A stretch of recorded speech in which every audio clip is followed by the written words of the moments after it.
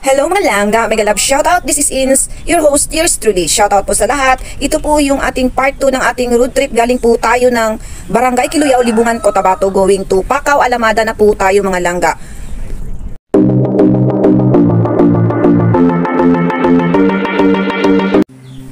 I'm back. I'm asking a favor kung baguhan po kayo sa aking channel, please do click the subscribe and notification bell para naman po updated po kayo sa mga upcoming videos ko.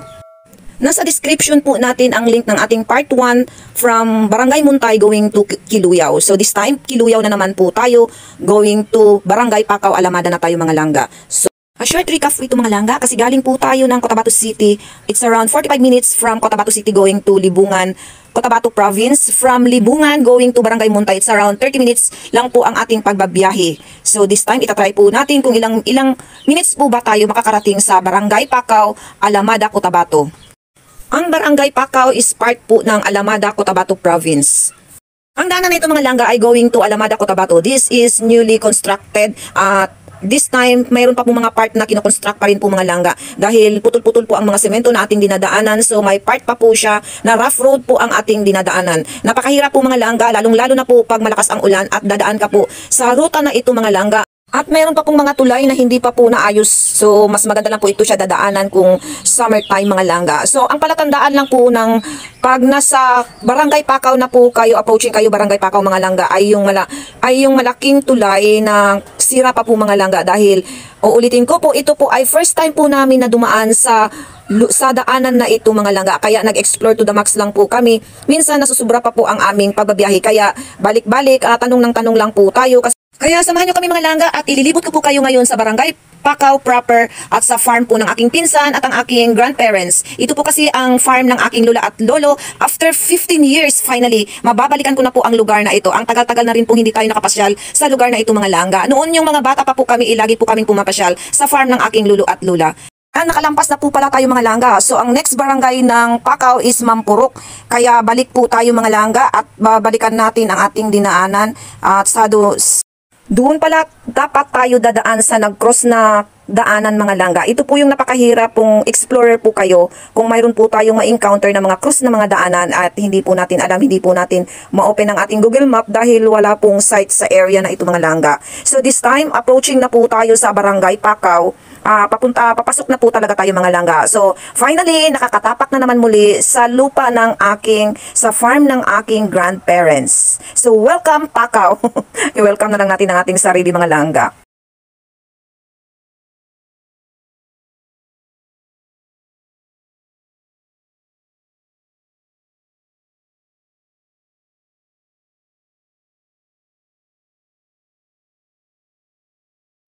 So, we are approaching now sa Barangay Takaw, mga langga. So, ito pala yung daanan na dinaanan na natin kanina. Dito pala ang papasok sa farm po ng aking grandparents. Ayun. Ganito talaga. Tunay talaga na exploring tayo sa ating nadaan. Kaya nakasobra tayo, nawawala tayo. Ganun lang po talaga yan. Yan. So, dito na tayo papasok sa uh, farm din ng aking pinsan. Kanila ninong ita. Ito na yung papuntang barrio. So, dito sa kanila. Kaya may natin, wala ko kayo. Ayan, papasok na tayo sa farm. Ito ng aking pinsan.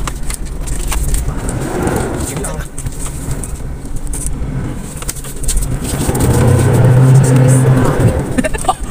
Grabe ka dabog. Ano na? Marami na pala silang mga puno ng mangga. Ano na? Sige, dito, dito. Sige, May parang, parang yung sa kanila. Ay, pag-windroid pala yung sa kanila. Oo. Ay, kulang siguro. Maganda. Yan Yan ako. mga puno. Face mask on. Ay, may natin, wala ko. Ayan, tapos na tayo sa farm. Ito ng aking pinsan. Sige lang. Grabe dabog. Ano na? Marami na pala silang mga puno ng mangga. Ano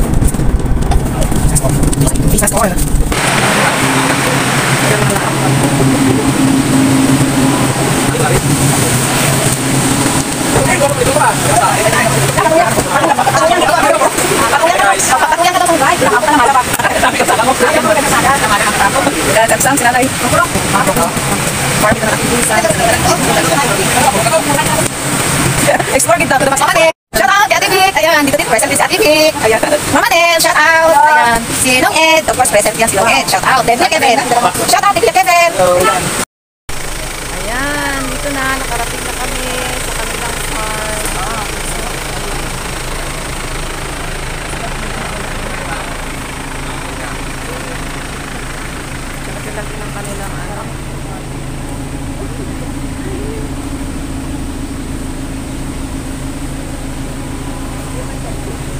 Naliko na lang rin.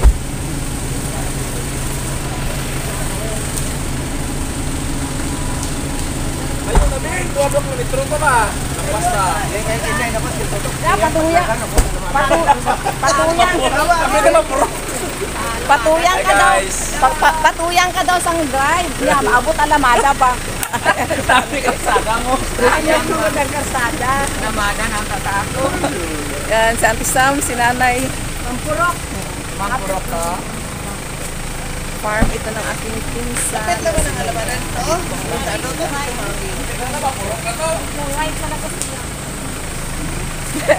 Explore gid da to the max Mama Nel.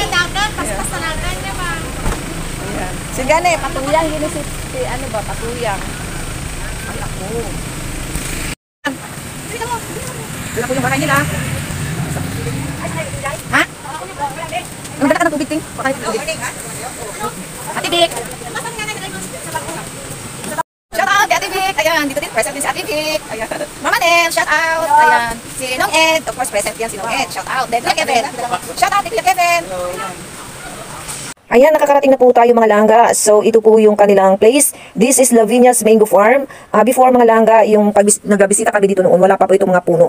Ah, but this time, so filled in na po lahat ng mga fruit trees. So, ito po ang kanilang kubo. Ah, my deepest sympathy to the bereaved family, Saban and Valentin family. Auntie Indang, may your soul rest in peace.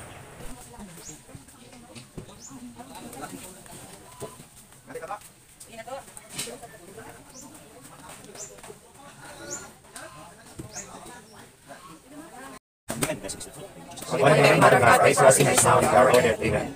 Glory be to the Father, and to the Son, and to the Holy Spirit. As it was in the beginning, is now, and ever shall be, world without end. Amen. Eter- Eternal rest grant unto Erlinda. Ayaw mo pa yan? Pabinta. Ah, pilang isa, sir? 25 pesos. Ah, libre na open po. Libre open po. Oo, ayan na. Di daw na pis daw na pusa na na ha, daw nagawas na. Okay lang. Kuan? Pero kung ako mag-appraise na, 100. Oh, 100 daw ang kay Manong. Ah, okay. Thank you to. That's all mga langga. Thank you so much for watching. Sana nag-enjoy po kayo sa panonood ng video kong ito. This is Inspilayo. May God bless us all. Love, love, love.